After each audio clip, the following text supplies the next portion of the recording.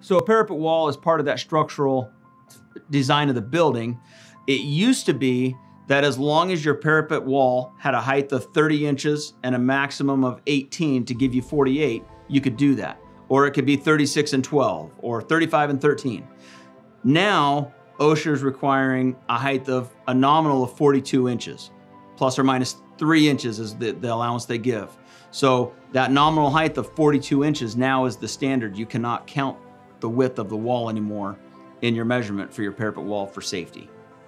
As long as that parapet wall reaches a nominal height of 42 inches, then that will count as your fall protection and you don't have to wear the harness or you don't have to have a tie-off um, anchor and you don't have to have a warning line if your parapet wall reaches that nominal height of 42 inches. So if you have a parapet wall and the height is only 30 inches, you're not tall enough to meet that nominal of 42, then you have a few different options. You can have a six foot warning line, which is set back six feet from the edge of the wall and it has to be flags, rope, marking that area to give you that warning line.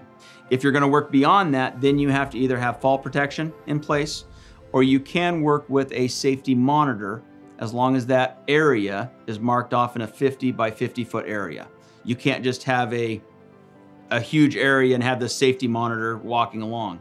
Now the safety monitor cannot have any tools in his hand, can't be carrying any equipment, we typically have our safety monitor wear a different colored vest so that they stand out.